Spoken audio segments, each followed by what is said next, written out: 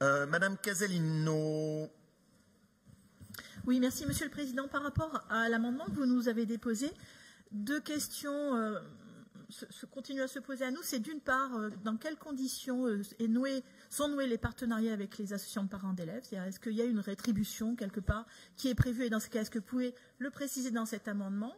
Et d'autre part, c'est la question aussi du cahier des charges pour le marché parce qu'effectivement, c'est la question de l'allotissement euh, géographique qui est évoquée, mais plus précisément, est-ce qu'on peut apporter des éléments dans l'amendement? Parce que euh, selon la rédaction du cahier des charges, euh, vous aurez les résultats ou vous n'aurez pas ceux que vous souhaitez. Alors, un, Madame Casalino, oui, bien sûr, l'objectif, et c'est l'engagement qu'on a pris avec les associations de parents d'élèves, c'est qu'évidemment, ça donnera lieu à une valorisation financière, hein, parce que pour eux, ça va représenter une implication. Donc euh, ça, c'est prévu et c'est ce qu'on a acté avec euh, les associations de parents d'élèves. On n'a pas de problème dessus. On peut parfaitement le préciser dans l'amendement où je propose que soit rajouté euh, cette implication donnera lieu à une valorisation financière de la part de la région. Aucun problème. Deux, sur la taille des marchés, ce que je propose, c'est qu'on s'appuie sur l'amendement qui sera déposé par le PCF Front de Gauche pour qu'on puisse le rectifier à ce moment-là et que ça nous permette d'avoir ainsi un point d'appui sur la taille pertinente.